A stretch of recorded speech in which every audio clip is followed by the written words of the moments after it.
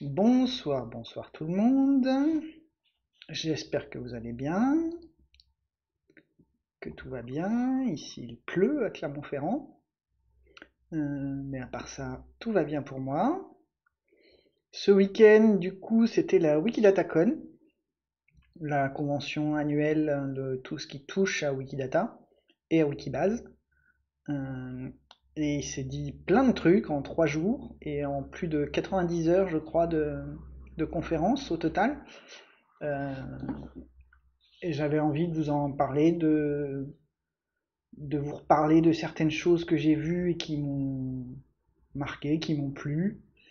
Euh, je sais que certains d'entre vous qui me regardent euh, avaient sans doute aussi euh, participé, peut-être vu des choses qui vous ont plu. N'hésitez pas aussi à me le dire, puisque comme je disais, il y avait beaucoup de beaucoup de présentations et je les ai pas forcément toutes vues. Donc ça m'intéresse aussi d'avoir vos avis. Voilà. J'ai pas de retour dans le chat, mais je vais considérer qu'on m'entend bien. Et du coup, si je passe sur mon écran, du coup, pour retrouver la page de Wikidatacon, vous pouvez la taper dans n'importe quel euh, moteur de recherche que vous voulez. Vous trouverez les infos. Mais je vous redonne le lien ici au cas où. Bonsoir tout le monde. Et donc si on va sur le programme et qu'on descend dans le programme, dans le programme en ligne euh, avec l'outil Pretox, qui était pratique. Du coup, le premier jour, il n'y avait qu'une seule session plénière euh, dans la même salle, euh, où il y avait beaucoup de présentations aussi diverses que variées. Euh, je ne parlerai pas forcément parce qu'elles étaient très intéressantes. beaucoup sur la théorie, notamment comment rendre Wikidata plus équitable pour tout le monde, pour toutes les cultures, pour toutes les choses possibles et imaginables en fait. Euh, il y a eu plusieurs, voilà, Decolonizing Wikidata ou Reimaging Wikidata, qui étaient très intéressants, euh, mais donc je suis pas spécialiste. Euh, les vidéos sont en ligne, je vous laisserai les regarder, à la limite c'est le plus intéressant pour vous. voilà, il y avait des... une présentation le premier jour quand même sur le Wikidata Query Service, dont je fais mes présentations tout le mardi soir sur les requêtes Sparkle elles sont sur le query service et, certains d'entre vous, j'en suis sûr, le savent, le query service a parfois des, limites. Euh, il n'est pas aussi rapide que certains voudraient bien, même si je trouve qu'il est quand même déjà très rapide. Et donc du coup, l'équipe qui est derrière nous a parlé un peu des, défis qu'il euh, devait relever. et, euh, et, voilà, l'accès illimité à toute la connaissance du monde euh, pour tout le monde est quelque chose de difficile et effectivement c'est difficile mais il y a des plans pour, euh, les mois, les années à venir pour améliorer ça et du coup les équipes travaillent dessus. Je ne vais pas forcément revenir non plus sur tous les détails techniques de ce qui va être mis en place mais euh, ça devrait s'améliorer ou au moins arriver à continuer malgré la croissance très importante de Wikidata. Euh, qui est le défi principal actuellement, de continuer à au moins offrir le même degré de service. Euh. Voilà. Euh, il y a eu beaucoup de discussions autour de Abstract Wikipédia, donc la Wikipédia abstraite, comme on dit en français parfois. C'est un projet de génération de texte similaire à un article Wikipédia, même si c'est pas exactement la même chose. C'est un projet à côté, c'est pas pour remplacer Wikipédia. Euh, mais ça peut aider à démarrer euh, une Wikipédia. Par exemple, la Wikipédia en Igbo, qui est euh, l'Igbo, c'est une langue du Nigeria, où Toshi nous en a parlé. voilà, il y a beaucoup de choses qui vont arriver sur Abstract Wikipédia et ça je vous en reparle juste après. voilà différentes choses aussi autour l'import de d'éléments autour de, concepts de lieux, notamment de temples bouddhistes hein, euh, et autres. C'était intéressant aussi de voir un point de vue extérieur. Voilà, mais ça c'était la première journée. Euh, et puis il y avait eu aussi euh, une séance plus conviviale, très intéressante, mais rien à voir avec Wikidata pour le coup, autour de la culture brésilienne. Voilà. Le deuxième jour, donc le samedi, il y a eu là beaucoup beaucoup de présentations euh, plus. Alors déjà il y avait trois, trois sessions en parallèle dans trois salles et euh, on entrait plus dans le vif du sujet, dans les choses concrètes. Euh, j'ai commencé par aller voir Lydia qui nous parlait de qu'est-ce que ça veut dire pour Wikidata le fait que de plus en plus de gens contribuent à Wikidata sans aller sur Wikidata. Le 99% est un peu exagéré, mais c'était très intéressant euh, Lydia a lancé une discussion, d'ailleurs, c'était pas forcément une présentation, euh, notamment en termes de qualité des données, de vandalisme, euh, voilà, comment on pouvait réfléchir au futur, parce qu'effectivement, depuis le début de Wikidata, c'était dans l'objectif, dans, dans, le plan originel en tout cas, mais ça sera de plus en plus vrai avec le temps, c'est qu'en fait, on peut contribuer à Wikidata sans aller dans Wikidata. Euh, je me suis permis d'ailleurs de faire un parallèle avec euh, OpenStreetMap où c'est pareil, il y a beaucoup d'outils différents pour contribuer à OpenStreetMap. Euh, certains où les gens vont jamais vraiment sur le OpenStreetMap.org, il y a beaucoup de points d'entrée. Et du coup, notamment pour bah, créer un sentiment de communauté, pour que les gens se coordonnent. voilà. Donc c'était beaucoup des questions, pas forcément beaucoup de réponses, mais c'était intéressant quand même. Galloroom qui nous dit et c'est mal. Hmm, non, je pense que la diversité, c'est pas forcément mal. Euh, par contre, ça pose des défis euh, qu'il faut au moins prévoir. C'était le but de cette présentation. Ensuite, euh, la fameuse Sandra Fauconnier nous a présenté OpenRefine, qui est un outil justement de contribution externe à Wikidata, qui est très puissant. Euh, c'est aussi ça l'intérêt d'ailleurs pour faire le lien avec ce que je dis juste avant, c'est qu'en fait il y a des outils qui sont plus adaptés à certains besoins et quand on veut créer en masse notamment des, centaines, euh, des milliers d'éléments, euh, le faire à la main dans l'interface de Wikidata c'est pas ni pertinent ni, même faisable selon le volume.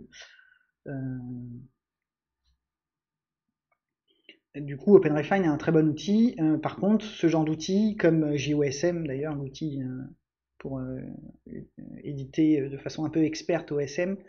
Euh, c'est pas toujours facile à prendre en main, donc c'est pour ça qu'il y avait eu une présentation de plus d'une heure sur le sujet. OpenRefine est un outil qui contient énormément de fonctions et de fonctionnalités différentes, et même moi j'ai appris des trucs sur le sujet. du coup, si, si j'étais là, j'ai pas été voir les autres, malheureusement mais je compte bien regarder au moins tout ce qui tourne autour de structure Data Commons euh, quand j'aurai le temps. Euh, voilà, je sais pas s'il y a des gens dans le chat qui ont été voir autre chose, qui veulent en, dire deux mots dans le chat éventuellement. N'hésitez pas. Euh, ensuite, j'ai navigué un peu entre les trois salles et j'ai rien vu de particulièrement intéressant. Paul Burley qui parlait de, de ce que ça change euh, Wikidata pour les concours photographiques était intéressant, mais euh, je faisais d'autres choses en parallèle en plus, donc c'est pour ça que j'ai pas forcément tout suivi, mais c'est très intéressant quand même. Euh, je vais pas forcément détailler tout, donc des projets en plus des Pictors, je vous en ai déjà parlé. Isa, je crois que je l'ai déjà aussi présenté. Des façons justement de gamifier, de contribuer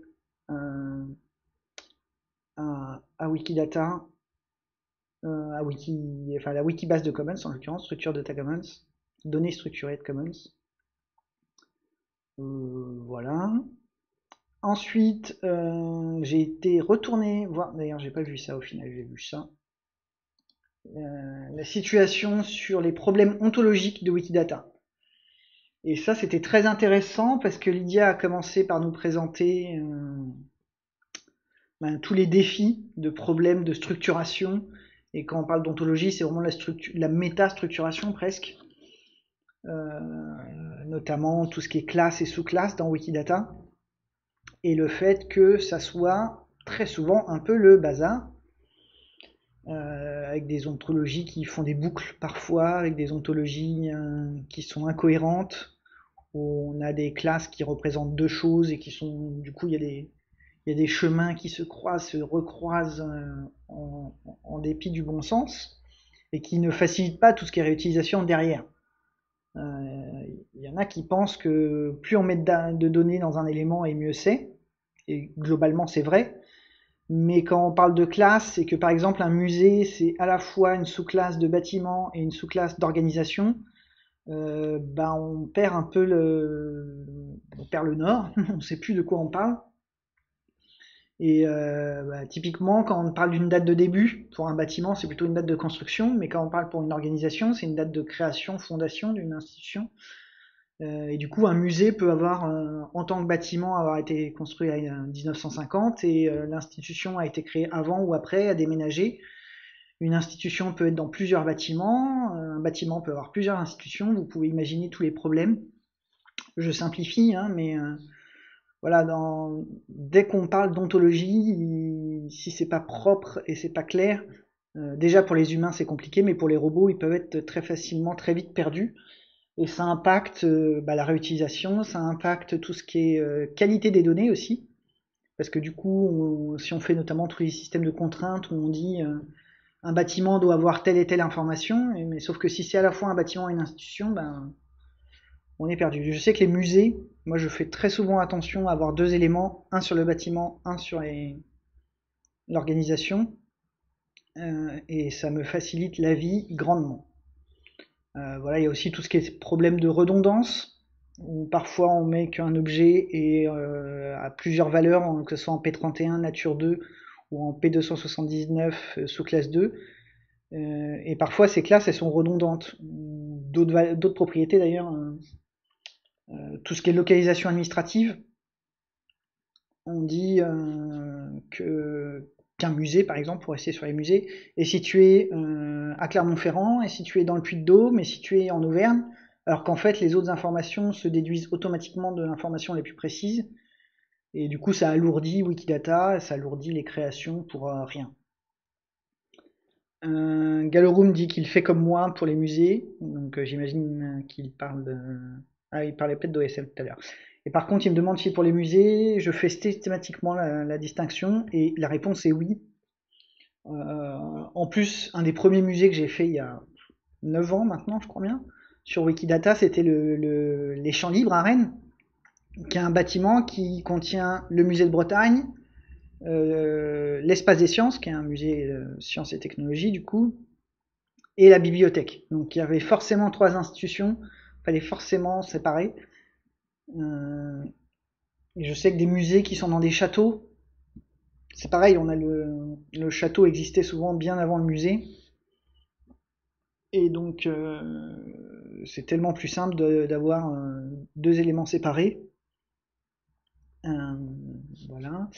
Et ah oui, et ce que je voulais dire, c'est que du coup, si on sépare, il faut aussi bien penser à mettre un lien entre ces, différents éléments pour naviguer de l'un à l'autre. C'est pas non plus l'idée d'avoir des éléments complètement séparés et indépendants.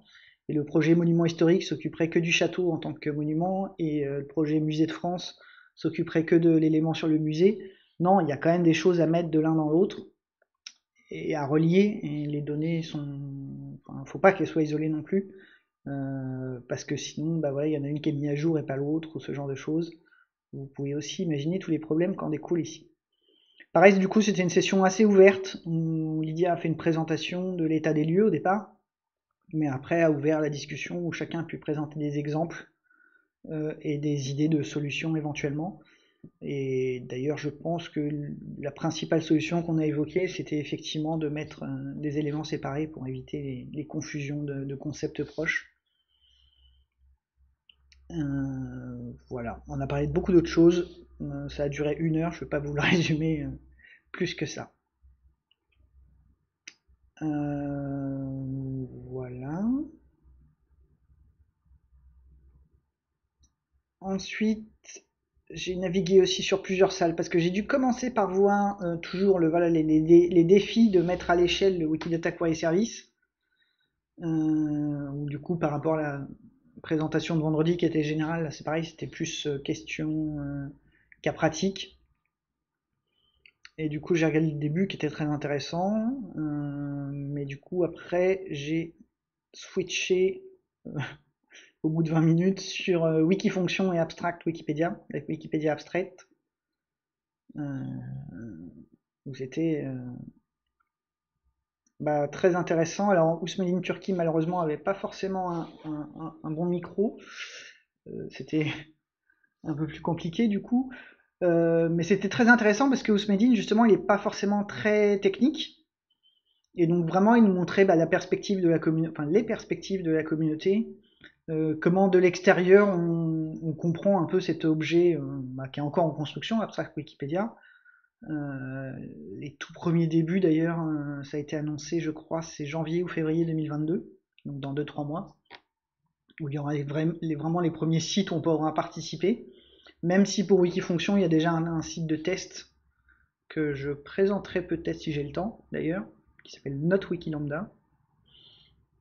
Euh, bref, c'était très intéressant d'avoir le point de vue un peu voilà non technicien extérieur de comment quelqu'un voit les avantages, les inconvénients aussi, hein, parce que euh, c'est quand même un outil qui sera un peu technique et pas forcément facile. Euh, voilà. Euh, me demande pour les données structurelles, les données structurées, c'est pas vraiment évident, l'évidence pour un grand nombre de contributeurs. Bah, malheureusement, oui, c'est ça, c'est que les gens font des données structurées sur Wikidata, mais se rendent pas forcément compte de ce qu'ils font. Euh, moi, je le vois très souvent sur, euh, par exemple, quand le père et le fils ont le même nom, et pour lier du père vers le fils, ou du fils vers le père d'ailleurs, peu importe, bah, ils se trompent et ils mettent un lien, quelqu'un est le père de lui-même, parce qu'ils tapent le texte et ils se rendent pas compte que c'est le concept derrière le texte.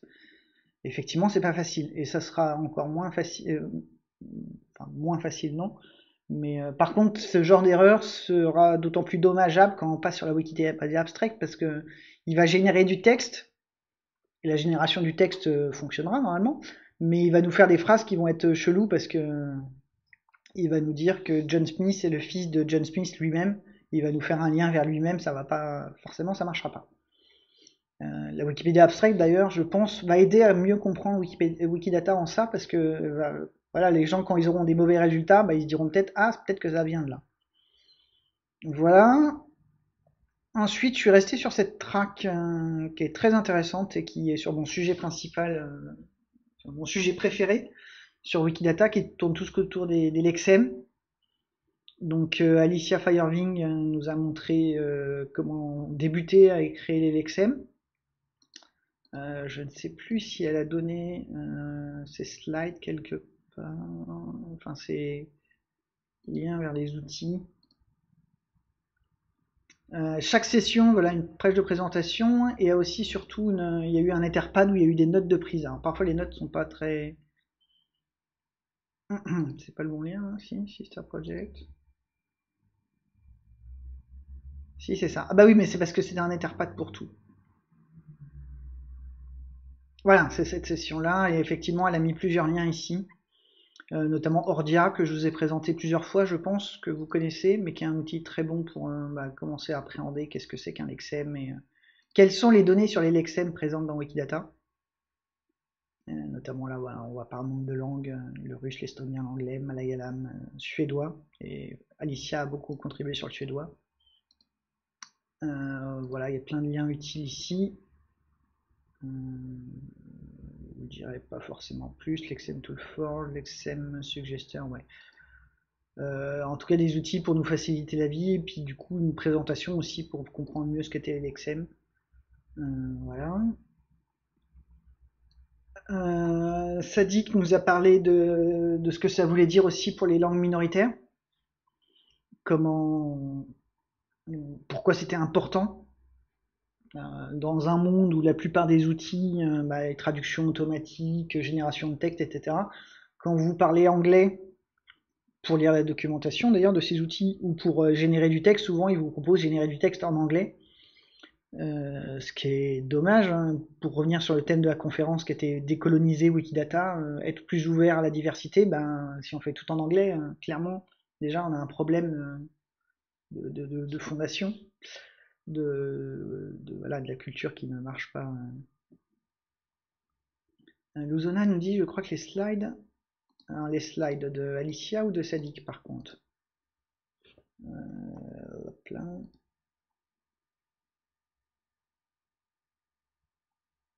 je ne les vois pas, là je les vois pas non plus, les terpades. Et du coup, c'est le même Etherpad pour les deux sessions. Discussion. La discussion a été copiée ici. D'ailleurs, on voit, vous avez la preuve que j'étais présent, c'est que j'ai posé des questions, des questions bêtes d'ailleurs. Euh, pouf, pouf, pouf. Ça, c'était Ousmedine. Je suis encore là en train de parler. Mais je crois pas qu'il y a les...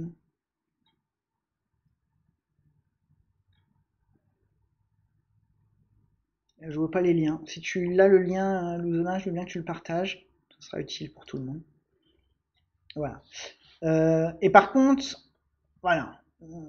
À 2h10, il y a eu euh, Maïr Morshed qui nous a parlé de deux outils qu'il a créés, euh, Ninai et Udirun, qui sont un tout premier exemple de comment générer du texte avec les éléments de Wikidata et l'XM. Et euh, du coup, c'était super intéressant. Et lui, je crois que par contre, il a lié les slides quelques... Non, erreur, pardon. Euh...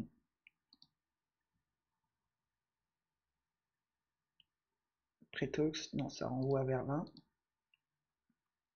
Raté. Sinon, si je tape Odiron, est-ce qu'il en parle plus tard? Non. Maybe I did again. Tac, tac, tac. Ah, si Big Bucket, là je lien, je donne le lien vers le code lui-même du coup. Euh, mais il n'y a pas le lien vers les slides.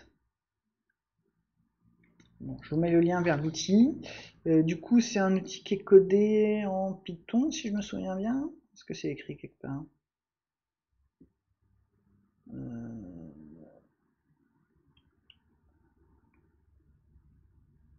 Si je rentre dans le code ici, ouais, init.py, grec, c'est bien du Python. Euh, du coup, c'est deux outils qui fonctionnent ensemble. Euh, le premier comprend comment est structurée une langue, en fait, plus ou moins. Je simplifie. voilà. et le deuxième, hop là, Euh, lui se sert de générer le texte. Vu l'icône, effectivement, j'avais pas fait gaffe, mais c'est l'icône de Python ici. D'ailleurs, je peux agrandir mon écran peut-être pour vous, un peu. Voilà. Donc le premier comprend comment fonctionne une langue, comment elle est structurée, ce qu'on appellerait plus ou moins la grammaire, mais euh, la grammaire c'est le côté linguistique de la chose, là on est plutôt dans le côté euh, traitement des langages naturels.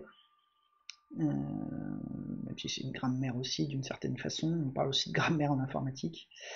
Et donc euh, voilà. Euh, et donc du coup, vous voyez d'ailleurs que les derniers édits de ici, normalement, on a dans les langues le français qui a été ajouté. Et ça a été ajouté grâce à mon aide parce qu'en fait, juste après la session, on a fait une pause avec Maïr et on a regardé comment on pouvait générer des textes en français. Euh,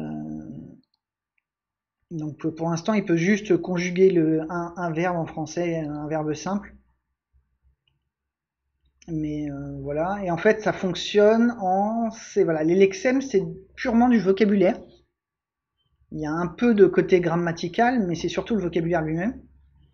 Et en fait, il y a besoin d'un programme entre les deux pour lui dire, euh, bah ça c'est un verbe, ça c'est un, un pronom personnel et comment le pronom personnel interagit finalement avec le verbe, lequel vont ensemble. Euh, on peut penser notamment pour un exemple simple à tout ce qui est accord.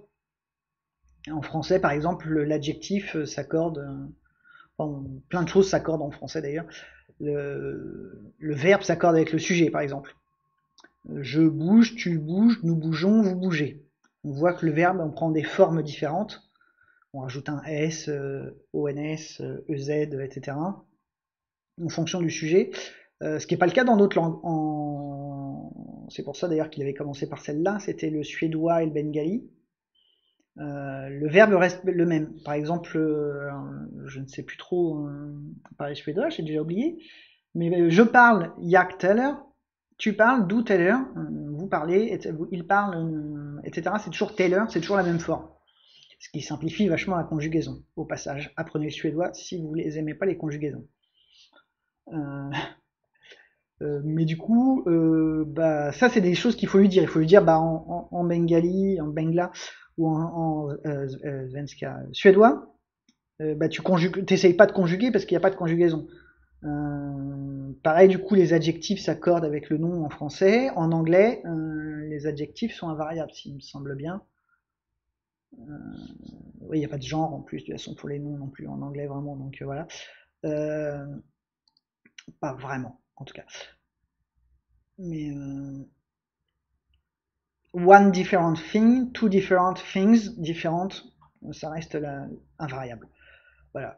Euh, si vous parlez Python un petit peu, n'hésitez pas à regarder. Et euh, si on va sur Twitter, si on va sur ma page Twitter d'ailleurs, hop là, on peut voir que j'ai posté un exemple. Euh, quelque part, j'ai posté beaucoup de trucs pendant Wikidata donc ça va être compliqué de le retrouver du premier coup, mais on va y arriver. voilà. Donc j'ai fait un mini hackathon avec Maïr, comme je disais. Je vais vous donner le lien ici. Et du coup, il faut donner un code et il faut lui dire, donc ça c'est le, code, voilà, en l'occurrence il est assez court parce que c'est une, sous-fonction. Il faut lui dire du coup le concept de bouger, on parle bien d'un concept, un élément Q hein, sur Wikidata d'ailleurs, qui est le concept du mouvement. Et on lui dit, bah, fais une sentence avec le mouvement quand euh, le locuteur est l'agent, celui qui fait l'action, euh, quand il écoute l'action, c'est-à-dire que quelqu'un d'autre le fait et qu'il écoute ce qu'on lui dit, au singulier, au pluriel. Euh, et tout ça, à chaque fois, on lui dit c'est au présent. Donc on, voilà, on lui donne les informations, les méta-informations. Fais-moi une phrase sur le concept de la personne bouge. Le locuteur bouge en l'occurrence et met la moi au présent et il nous génère en résultat je bouge, tu bouges, nous bougeons, vous bougez. Pour l'instant, ça n'a pas l'air grand chose comme ça, hein, c'est juste sujet-verbe, mais euh, on peut imaginer que la fonction après prendra d'autres arguments. Euh, euh, par exemple, là c'est l'agent, mais après on pourra mettre le, comment on appelle ça en français? COD, COI, les compléments d'objets direct ou indirect en l'occurrence. On pourra mettre des compléments circonstanciels. Hier je bougeais, demain tu bougeras. Euh, ce genre de choses. Et puis d'ailleurs, il pourra vérifier. On peut pas lui dire euh, fais un futur avec un complément circonstanciel euh, au passé. Hier je bougerai. Hier je vais bouger. il peut générer la phrase, hein, ceci dit. elle est grammaticalement constructible, mais je pense que ce serait typiquement le genre de truc qui nous donnerait une alerte il y a une incohérence, ce genre de choses. Euh, et du coup, on imagine que quand on va plus loin, quand on ira dans Wikipédia abstrait, eh ben on lui donnera euh, Marie Curie, euh, il saura que Marie Curie c'est une femme, et qu'elle a eu une distinction qu'on appelle le prix Nobel, et il fera une phrase Marie Curie a reçu le prix Nobel à telle date.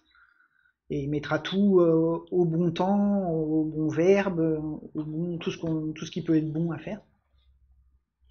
Voilà. Et donc, euh, et donc voilà. pour brièvement résumer ce que ça donnera, l'exemple. Euh, puis là, du coup, dans mon tweet, je redonne. Euh, mais bon, pour quelque chose qui a été fait en quelques jours, pour le code général, la structure, et puis en une heure pour expliquer dans ce code comment fonctionnait le français, je trouve que c'est déjà pas mal et très prometteur euh, de ce que pourra faire du coup ensuite euh, euh, la Wikipédia, enfin les wikifonctions, parce que ça typiquement ça, deviendra une wikifonction en fait. Chacun des sous-bouts est une fonction, puis ça sera une fonction générale qui appelle des sous-fonctions, mais perso, je trouve ça déjà super cool. Je sais pas si je vous ai convaincu ou si vous avez compris, mais, mais j'espère. Et euh, sinon, du façon, dans quelques mois ou années, vous verrez en, action comment ça fonctionne. Et ça devrait être très intéressant. Et ça fonctionne ce qu'on appelle sur les universal dependency, les, des, annotations de phrases. Mais en fait, là, on part à l'envers, on parle de l'annotation et, euh, euh, et il nous dira dans l'autre sens, construire la phrase avec ça. Donc c'est le genre de schéma comme ça on dit qui fait quoi, euh, qu'est-ce qui est sujet l'un de l'autre, qu'est-ce qui est machin. Et en fait, souvent, c'est fait, comme je disais, ça peut être fait à rebours. Hein. On prend une phrase et on l'analyse. la plupart des gens ont fait ça en primaire. Hein. Où est le sujet dans la phrase, où est le complément d'objet, etc. Lesquels sont liés auxquels, et voilà, mais on peut partir dans l'autre sens. Du coup, c'est l'idée des universal dependencies, c'est qu'on part du schéma et qui génère la langue correspondante. Euh, voilà la fonction des mots dans une phrase et he will say et say du coup likes les verbes etc ça repose sur toutes les notions de prédicat hein, sujet objet qui sont pas très loin d'ailleurs de ce qu'on fait en avec les données structurées sur Wikidata. Et Dalf trouve ça super cool. Ah euh, hop là donc du coup merci pour le lien vers les présentations Luzona est-ce qu'on va trouver celle que je voulais?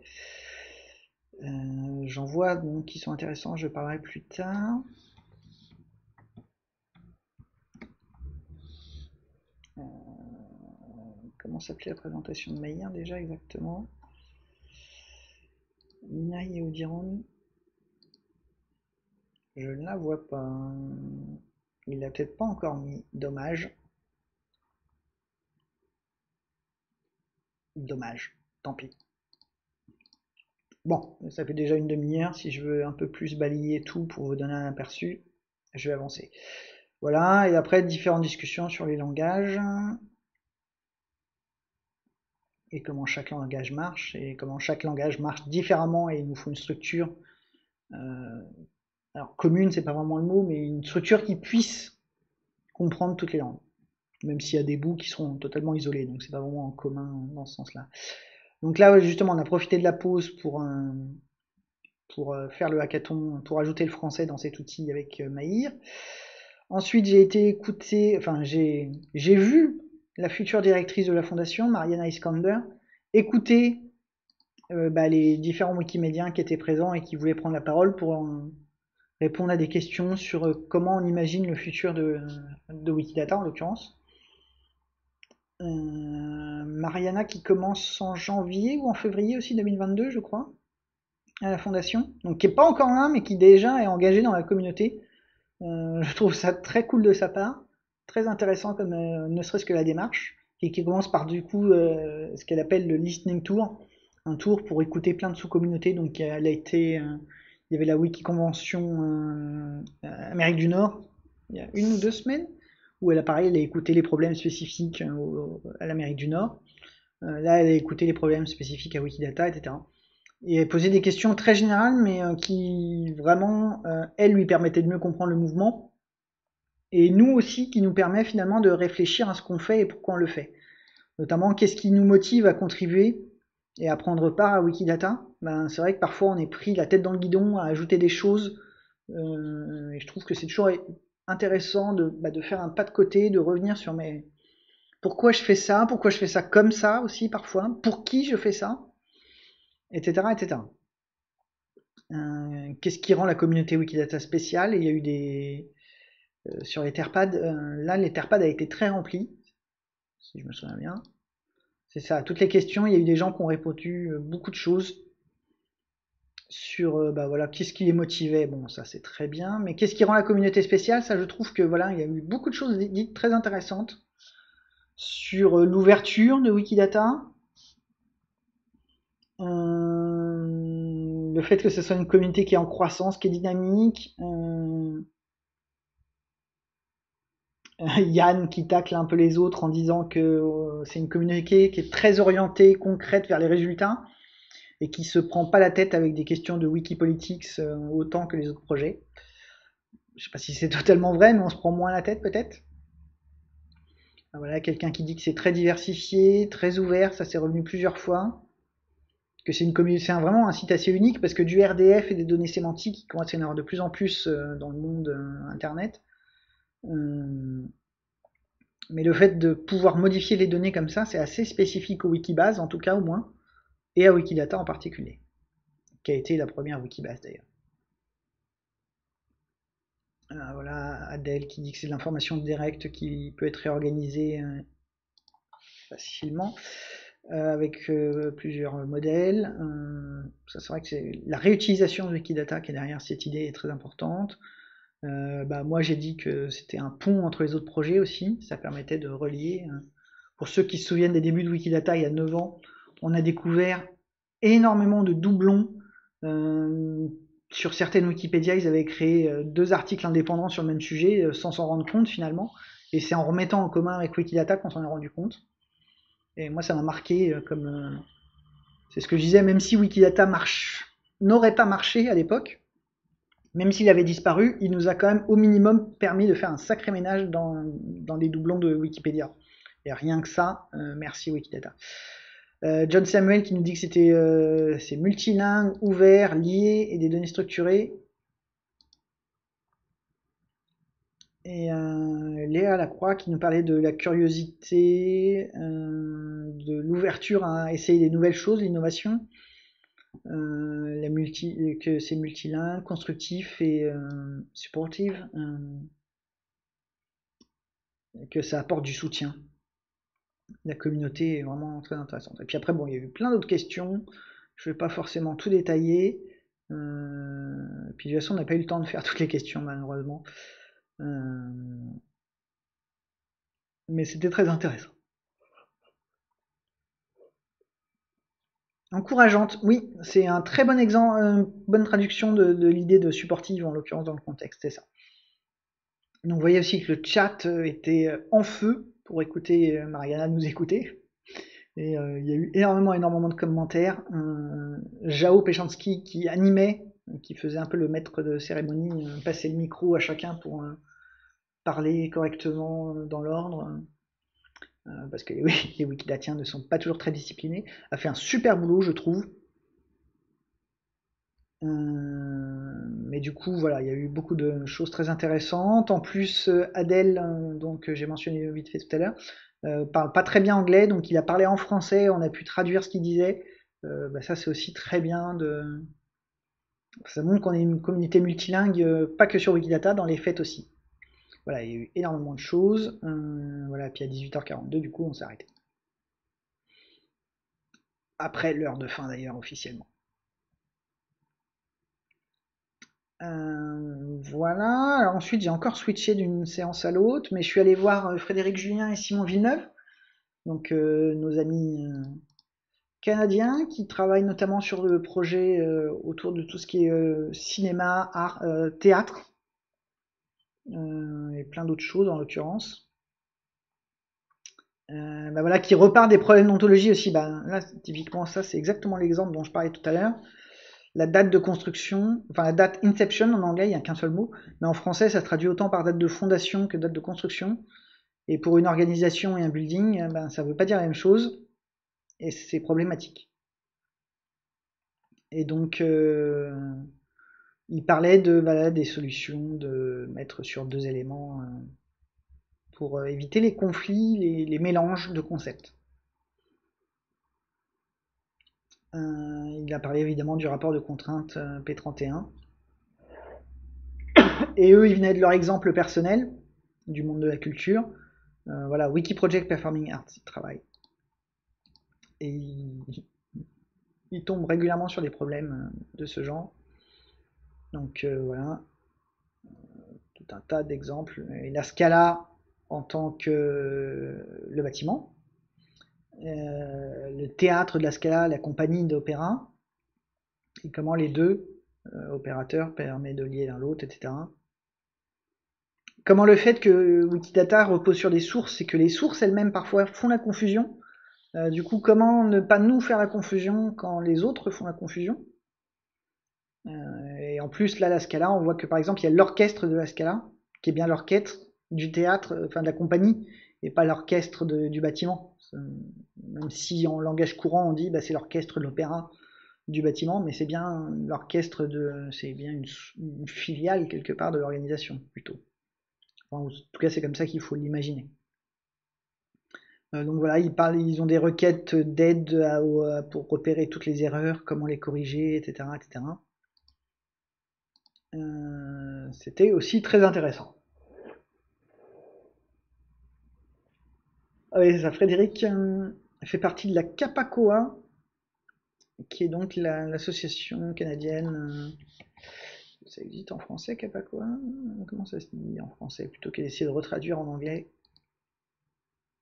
vu que les Canadiens sont bilingues, normalement sur leur site, je peux trouver Association canadienne des organismes artistiques. Canadian Association for Performing Arts. Euh, voilà, qui du coup regroupe en plus tout un tas d'institutions, d'associations, d'organismes artistiques très différents.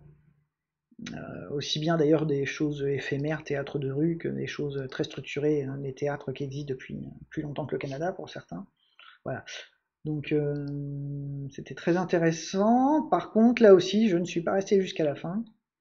C'est le piège en fait de savoir que les, les sessions étaient filmées, c'est que je me dis oh je rattraperai plus tard. Euh, ce que je ne ferai peut-être pas d'ailleurs toujours. Et euh, du coup, je suis allé voir Olaf Jensen. Alors ça, je vais vous en parler un peu parce que Olaf Jensen, qui a présenté 50 euh, choses cool qu'on peut faire avec les, trésors des collections, collection highlights, comme on dit en anglais, qui correspondent plus ou moins à ce qu'on appellerait les trésors, les, pièces les plus intéressantes d'un musée, par exemple. Donc lui, il travaille à la Bibliothèque euh, royale nationale des Pays-Bas. National Library of euh, Netherlands, voilà, c'est ça.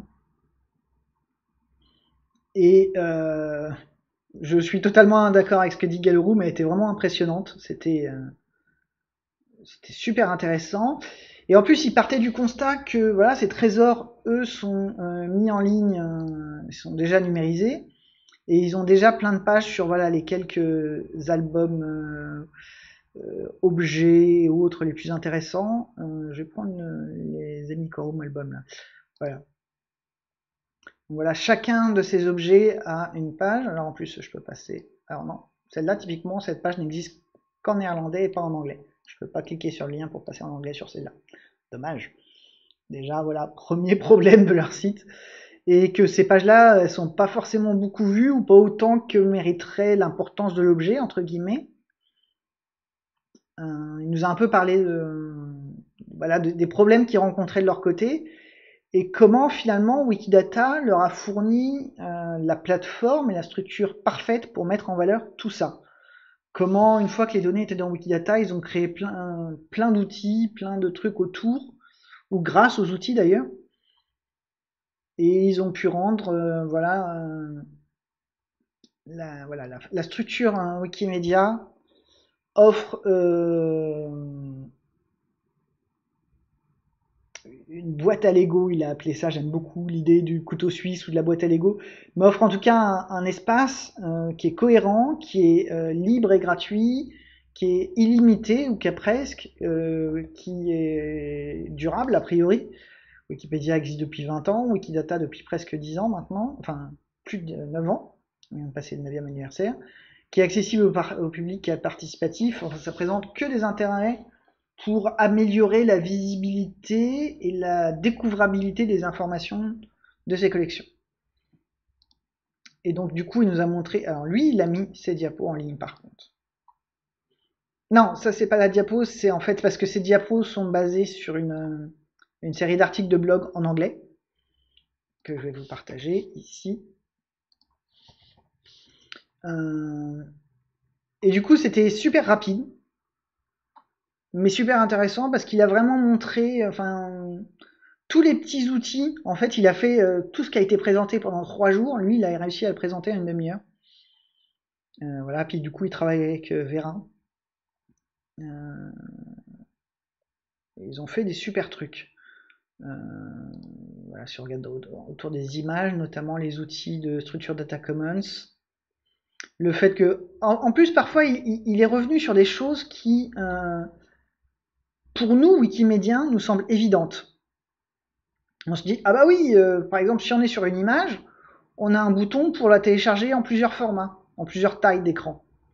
Et nous, on oublie même qu'il est là parfois ce bouton-là, tellement tellement c'est évident maintenant pour nous, ça fait 20 ans qu'on a cette fonctionnalité, on s'en rend pas compte. Euh, mais en fait, pour quelqu'un qui, euh, par exemple, ne saurait pas découper un fichier à la bonne taille, veut un fichier directement de petite ou de très grande taille, bah, le fait qu'on ait ces petits boutons qui nous permettent de, d'avoir 1, 2, 3, 4, 5, 6 tailles différentes de fichiers, 1, 2, 3, 4, 5, 6 avec la taille, euh, voilà, et eh ben c'est tellement pratique en fait, on s'en rend même plus compte, mais c'est génial. Euh, le fait qu'on ait les données euh, de façon propre, euh, toujours de la même façon, ça permet facilement, quand on est sur une page, de retrouver sur notre page les mêmes infos, de comparer facilement, par exemple. le fait que là, bah, ça reprenne en plus des choses de Wikidata, encore mieux. que ça renvoie vers les liens, qu'on met en avant les logos des, institutions, des choses qu'on fait un peu automatiquement maintenant, qu'on oublie, mais qui, en fait, on s'en rend pas compte parfois, mais sont vachement avancées dans, dans un univers où notamment les institutions culturelles sont pas forcément euh, hyper avancées. Pas autant toujours. Donc euh, voilà, il a parlé beaucoup des coordonnées et comment une coordonnée permet facilement. Euh, voilà, en l'occurrence, il a montré, ça c'est parfait comme exemple, c'est une vue d'époque qui a été téléchargée sur, un, sur Commons où on a mis la coordonnée. Du coup, on peut cliquer la coordonnée. Donc, on parle du fichier là. On met les données là. Quand on clique sur une coordonnée sur Commons, on peut automatiquement arriver sur une page qui peut nous renvoyer soit vers la carte OpenStreetMap, soit vers la vue. Et là, la vue, ce qui est intéressant, c'est que voilà, cette image qui a été prise. Euh, euh, ok. Et quelle date, du coup 1680, vers 1694-1697, donc il y a euh, presque 300 ans. Et quand on voit la vue OpenStreetMap maintenant, parce qu'on peut passer sur OpenStreetMap, euh, Google Street View, pardon, euh, on voit que finalement le, bâtiment n'a pas forcément beaucoup changé en 300 ans.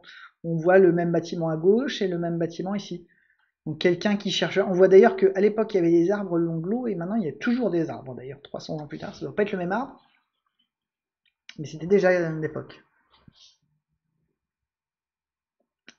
Galorum qui j'attendais quelqu'un qui râlerait euh, qui dit que voilà euh, c'est une vue Google Street View euh, du coup c'est presque parfait c'est pas tout à fait parfait. Mais en même temps moi j'aime bien l'idée que sur les projets wiki on fait au plus possible on met en avant du libre et on fait au mieux avec le libre mais que finalement on prend pas parti. Si les gens veulent aller sur d'autres outils on leur donne les liens pour aller vers d'autres outils parce que parfois ce que veulent les gens les gens savent pas forcément ce que c'est que le libre, comment ça fonctionne. S'ils s'en rendent pas compte et qu'ils utilisent du libre sans le savoir, euh, c'est presque dommage, mais à la limite, tant mieux. Euh, mais s'ils veulent ne pas utiliser du libre, s'ils sont plus à l'aise, s'ils connaissent Wiki, s'ils connaissent, s'ils sont plus à l'aise avec Google Street View, ben, enfin, on va pas empêcher les gens. Finalement, on va pas bloquer les gens à rester dans du libre. La liberté, c'est aussi de sortir du libre parfois un peu on passe sur des sujets philosophiques, euh, peut-être que Galorum est en train d'avoir de, de l'urticaire, je sais que tout le monde n'est pas forcément d'accord avec ça, mais moi je trouve que c'est important d'être ouvert, y compris à ce qui n'est pas forcément libre. Sachant que là on propose les liens, hein, on force pas les gens, on n'intégrera pas les images Google Street View dans Wikipédia, ça c'est hors de question. Euh, ce qui est dans Wikipédia c'est le libre, mais voilà, tout comme finalement quand on est dans Wikipédia sur un article sur un sujet et qu'on cite un livre, le fait que le livre soit copyrighté n'empêche pas qu'il sert de source, n'empêche pas qu'il soit intéressant, que les gens puissent euh, vouloir aller plus loin. Et en l'occurrence, pour les images de, rue, euh, je vais faire un troll, mais il n'existe pas d'alternative libre, puisque euh, la seule alternative un peu libre qui existe, qui s'appelle Mapillary, techniquement, n'est pas vraiment libre non plus. Donc bon, en l'occurrence, sinon, on leur donnerait rien, et ce serait triste, je trouve. Voilà, donc il nous parle de métadonnées, etc. là, il parle des données structurées, des images. Euh, il montre aussi le côté multilingue, parce que bah, comme on l'a vu sur leur page de leur propre site, ils ont un bouton pour traduire en anglais, mais ça marche euh, pas toujours. Et là, voilà, les informations de, cette vue, notamment ce que ça représente, etc., bah, c'est euh, en langue originelle néerlandais ici, mais en français, en russe, en chinois. Mapillary appartient à Facebook maintenant. C'est ça. Il me semblait que ça avait été racheté par quelqu'un. Ce qui prouve que c'était pas vraiment libre au départ, parce que si ça avait été dans un commun numérique, ça aurait pas été rachetable. On clôt la parenthèse. Voilà comment on peut taguer précisément une image en disant bah, ça c'est ça, ça c'est ça. Et là du coup c'est tout en néerlandais, vous ne comprenez pas, moi non plus. Enfin, deur c'est la porte, door en anglais. Mais on peut aller plus loin.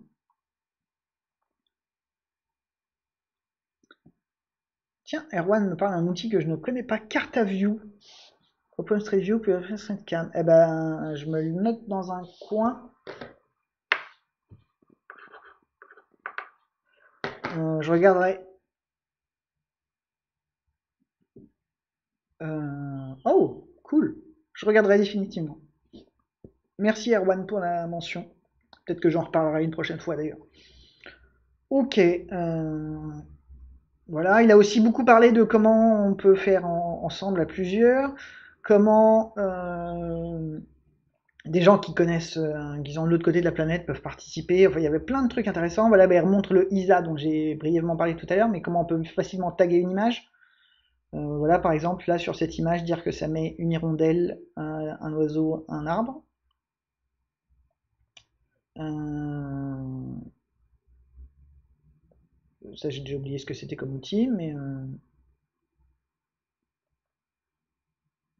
voilà, il y a plein de choses qui sont possibles et qui sont super cool. Et, en fait, ce que j'ai surtout retenu, c'est qu'on fait des trucs cool qu'on oublie qui sont cool parfois. Et que bah, c'était intéressant de voir quelqu'un qui vient de l'extérieur et qui nous dit que voilà, nous on râle sur les, les outils, on aimerait bien qu'ils soient plus puissants, plus rapides et qu'ils fassent le café pour un, gratuitement.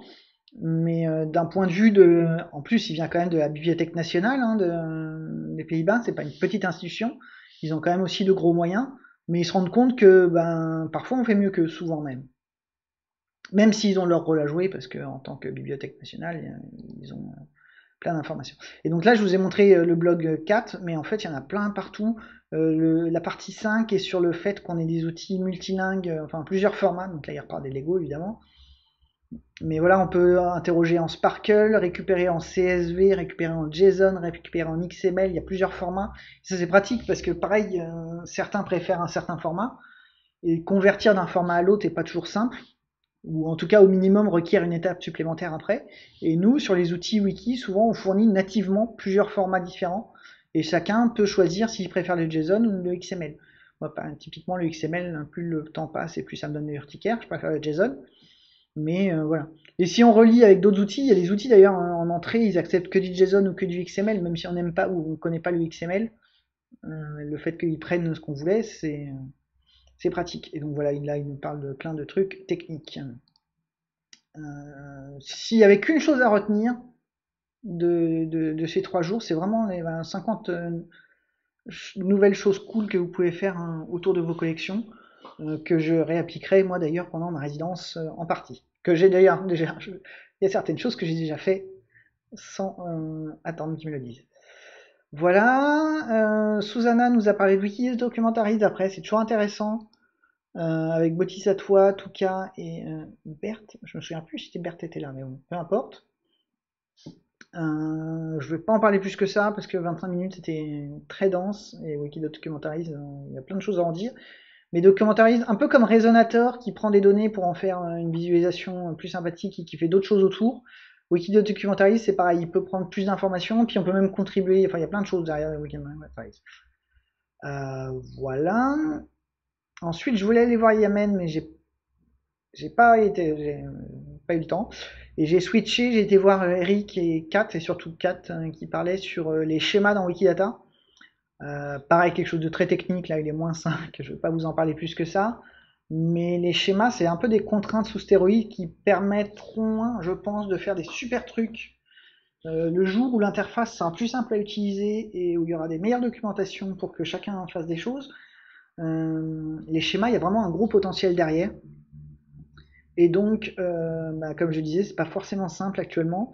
C'est pour ça que Kat a pris presque plus, enfin une heure expliquer comment écrire et comment faire. Galorum nous dit j'ai appris qu'on avait un espace de nom, de nom E. Oui, effectivement, sur Wikidata. Euh, si vous allez sur Wikidata, c'est l'espace. Je vais parler vite fait des espaces de nom pour ceux qui connaissaient pas, mais si je cherche chien, par défaut, je suis dans l'espace de nom principal et il me trouve chien, euh, l'élément Q. Enfin, l'entité élément qui commence par un Q. Si vous cherchez avec L2.chien, Là, vous êtes dans l'espace de nom euh, lexem. Et donc c'est aussi une entité Wikidata, mais c'est un lexem et puis un élément. Et donc du coup, il vous voilà L241. Mais on peut aussi chercher E, E humain, et on tombe sur une entité, l'entité E10 par exemple pour les êtres humains, qui dit avec un code très chelou, mais qu'un humain normalement a un lieu de naissance, un lieu de mort, une date de naissance, une date de naissance, euh, un nom, un prénom, une famille, etc. etc. Et on peut dire bah, combien il y en a, combien il est censé y en avoir. Euh, point d'interrogation, ça veut dire 0 ou plusieurs, 1 ou plus, l'étoile 0 ou plus, etc. etc., etc. le code est assez horrible. Et en plus, là, moi, j'ai fait un gadget pour que ça soit colorisé, sinon c'est tout en noir et c'est encore moins lisible. Voilà. Et tout d'ailleurs, comme si on cherche P, euh, P situé par exemple, on tombe sur une entité euh, euh, propriété. Galorum nous dit que c'est plus simple à comprendre si on est passé par du Sparkle, et effectivement, on reconnaît une structure qui ressemble au Sparkle, mais en fait,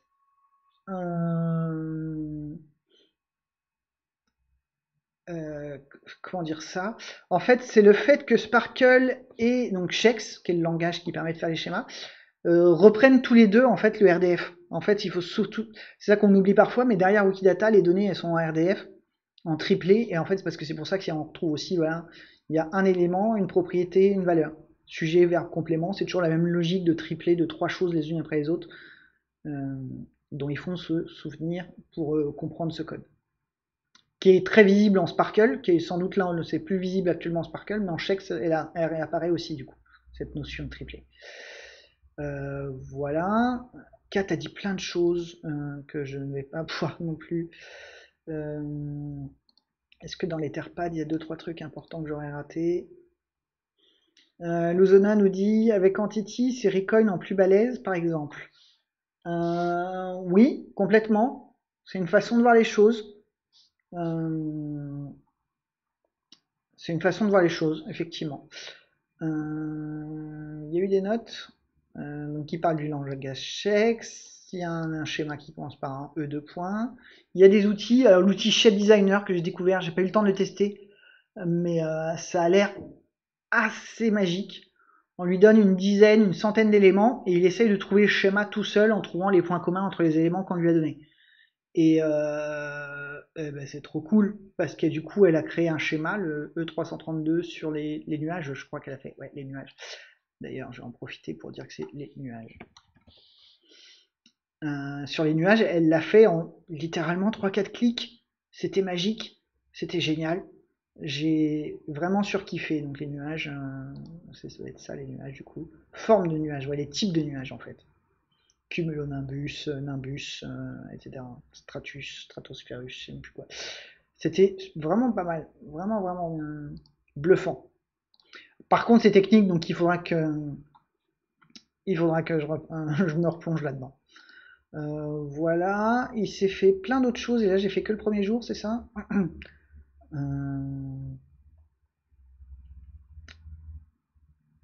Ouais, il y a eu plein de choses super cool. Il y a eu un, il y a eu des, il y a un atelier, je sais plus où il est, mais par Frédéric Julien, je sais pas si c'est celui-là, mais il était en français. Euh, il y a eu tellement de choses cool. Ça, c'était la session euh, de nuit euh, européenne, de jour pour l'Asie, du coup. après là, donc ça c'est le dimanche. Je suis allé pas mal à la session autour des wikibases. Euh, très technique, mais euh, très intéressant de voir ce qu'on peut faire avec les wikibases. Euh, pour reparler des Lexem, hein, qui est mon sujet préféré, c'est David Linden qui nous a proposé deux wikibases externes qu'ils ont montées. une qui s'appelle LexBib et l'autre qui s'appelle Outsac. Et du coup, les deux tournent autour des, des données autour du basque. Euh, L'exBib, ben, c'est des toute la littérature, les publications scientifiques qui existent autour de la langue basque, donc qui permettent de mieux comprendre comment fonctionne euh, cette langue justement. Et à Haute-Saxe, c'est comme les Lexem, mais euh, pour des raisons, plusieurs raisons que je m'interroge un peu sur la légitimité, mais en tout cas, ils ont décidé de faire leur propre base Lexem en plus, et je dis bien en plus parce qu'ils ont mis plein de lexem en basque sur Wikidata sur les lexem.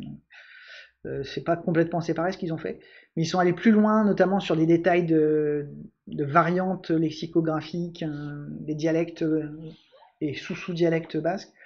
ils ont fait un super boulot et c'est lié les unes aux autres parce que du coup, quand il y a un dialecte spécifique ou un mot dans un dialecte, il donne la référence bibliographique ou dans la référence bibliographique, il donne un lexème en exemple. c'est très intéressant. c'est aussi ce qui était intéressant, ce que j'ai retenu de, pour résumer rapidement, mais toute cette session autour des Wikibase, c'est qu'on, y a de plus en plus de Wikibase externes qui se fait, enfin qui se font en externe. Euh, et donc du coup, il n'y a plus que Wiki, enfin il y a en dehors de Wikidata, il y a des Wikibases maintenant et de plus en plus, et on peut les lier et on peut collaborer ensemble justement. Donc ça c'est cool. Euh, la session éducation, sciences, je me suis notée à la regarder plus tard parce qu'il y a des choses euh, sans doute très intéressantes à voir. Euh, ensuite, j'ai aussi switché, donc, euh, parce que j'ai regardé Barbara et Thomas. Donc, eux, c'est une wikibase de la Bibliothèque nationale allemande.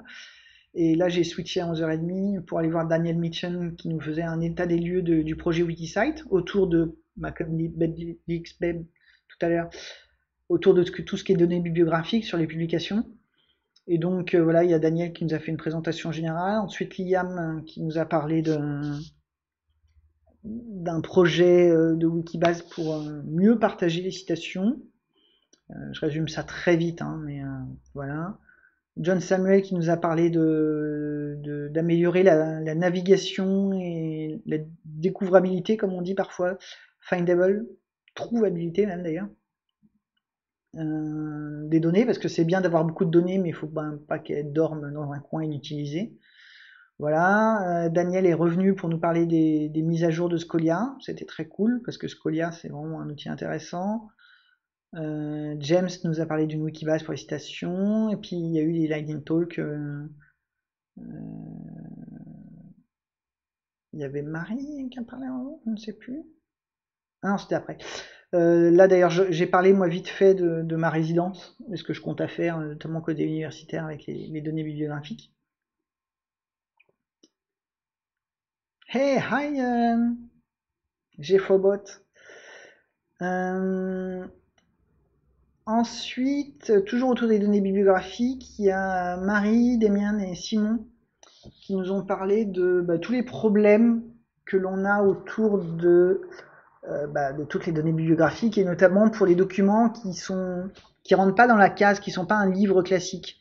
Donc il y avait tous les manuscrits anciens, il y a toutes les publications en série, euh, tous les magazines, la presse, qui sont des types de publications qui rentrent pas forcément dans les cases. Et du coup, c'était des ateliers pour euh, essayer de réfléchir ensemble de comment on pouvait améliorer. On a beaucoup exploré les problèmes, on n'a pas forcément trouvé de solution. Mais, mais c'était très intéressant quand même. Et il y a eu beaucoup, beaucoup, beaucoup d'autres choses, notamment un panel à la fin autour du projet Wikisite et son avenir. Il y a eu d'autres euh, discussions. Euh, ouais, je, je vais pas parler de tout, mais euh, voilà, l'effet de rétention des sur, sur Wikidata, etc., etc. Et après, bah, du coup, là, on arrive à la fin. il y a eu la session de cadeaux où chacun a présenté un projet qu'il a fait euh, donc là, c'est sur la ici. Et du coup, voilà, il y a eu beaucoup de projets différents qui ont été présentés. Euh, Learn Wikidata, c'est vraiment un super beau projet pour apprendre à contribuer sur Wikidata. C'est in English, euh, Django, français, espagnol. c'est des petites vidéos courtes qui vous apprennent à voilà, contribuer à, Wikidata autour des thématiques bah, des Wikisites, justement, de, voilà, créer un nouvel élément, euh, créer les auteurs, euh, les personnes, euh, ajouter des références. C'est vraiment comment faire le tour de Wikidata en vingtaine de vidéos. C'est vraiment super bien fait, je trouve. ça, c'était un beau cadeau. Et il y a eu plein d'autres projets. Wixibit, ça faut que je regarde de plus près, mais ça a l'air super cool aussi. Comment monter un projet, euh, enfin un site web facilement à partir de Wikidata. Euh, c'était une vidéo qui est pré-enregistrée, donc on peut la retrouver ici. Ça, je vous le mets en lien ici. Wikidata, Wikidata complete, Wikidata map. Ça c'est euh, Adam qui nous a fait une super carte aussi. Alors ça va planter mon ordi. Ah, ça plante. Je suis bête.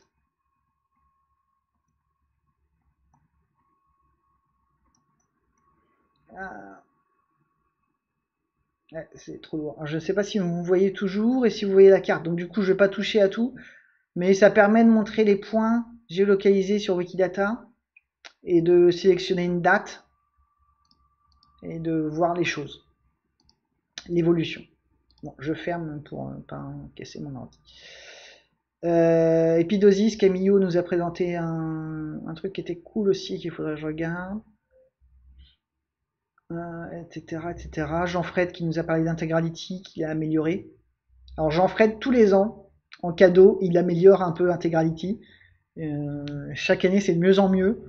Euh, je pense qu'un jour, son outil fera le café, tellement c'est bien. et c'était cool, voilà, il y a plein d'autres voilà, chat. Et du coup, après, bah, c'était fini. On a eu la cérémonie de clôture. on s'est donné rendez-vous pour l'an prochain, globalement. Euh, voilà. Et qu'est-ce qu'il y aura pour l'an prochain, qui est le dixième anniversaire, et qui sera aussi partiellement en ligne, mais peut-être euh, on va plus forcer sur le format hybride, et j'espère qu'il y aura une partie francophone en France, où on pourra faire des présentations euh, en français, et qui seront aussi en ligne, du coup, peut-être même avec nos amis suisses, belges ou canadiens, pourquoi pas, faire des choses intéressantes sur le sujet, ça serait super cool vu que ça tombe au moment où il y a la wiki convention francophone aussi, il y a peut-être des liens à faire, ça serait super. Euh, voilà, et je voulais parler d'autre chose, mais finalement j'aurais pas le temps. Donc euh, je vais m'arrêter là pour ce soir. Euh, je vous ai beaucoup parlé. je ne sais pas si vous avez tout compris, je l'espère. La vidéo sera sur YouTube aussi pour que vous voyez plus lentement. Les vidéos de la Wikidatacon seront dans quelques jours, je l'espère, rapidement en tout cas, euh, sur, euh, sur YouTube, Commons et à d'autres endroits que j'ai oubliés. Peertube peut-être? Pas sûr. Euh, surtout, ça m'a donné beaucoup d'idées. Vous voyez que là, en, en une heure, j'ai pas eu le temps de faire tout le tour. je continuerai en fait dans les jours, mois, semaines à venir à vous en parler petit à petit des différents outils parce que il y a de quoi parler pendant des jours et des jours. Euh, je sais qu'il y a des trucs que je regarderai. Les Lexem, vous n'allez pas y couper. Wikipédia abstrait, je vais regarder ça plus près comment ça marche et je vous reviendrai. Euh, j'essaierai de rendre simple, ça simple pour que vous compreniez. je regarderai aussi tout ce qui est les nouveaux outils dont je vous ai parlé. Et euh, je ferai peut-être des démos spécifiques sur un ou deux de ces outils. Si vous avez des questions d'ailleurs, un outil spécifique qui vous a marqué, que vous avez envie de, mettre, euh, de mieux comprendre, ou que je présente aux autres parce que vous le trouvez cool, euh, eh ben j'essaierai de le faire. Euh, that's all. Merci beaucoup. N'hésitez pas, comme d'habitude, à, me faire des suggestions. Il y a tellement à faire et une heure, ça passe très vite le mardi soir. Euh, voilà, beaucoup de liens à aller voir, mais aussi à la limite, euh, restez pas perdu si vous voyez tomber sur un outil et euh, vous ne savez pas comment l'outil fonctionne. Ben, suggérez-le moi et à la limite, on peut le regarder ensemble ou je peux le regarder avant et vous montrer comment il fonctionne pendant un mardi soir. C'est encore le mieux. C'est aussi l'esprit de partage du wiki. Voilà. Je laisse le chat faire deux, trois dernières remarques, questions, me dire au revoir si vous le voulez. Et je vais m'arrêter là. Je vais vous souhaiter une bonne soirée et à mardi prochain. Ciao, ciao